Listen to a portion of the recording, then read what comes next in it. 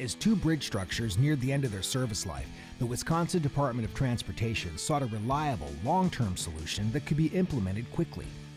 Pre stressed concrete girders manufactured by County Materials proved ideal for their high performance strength and unmatched service life.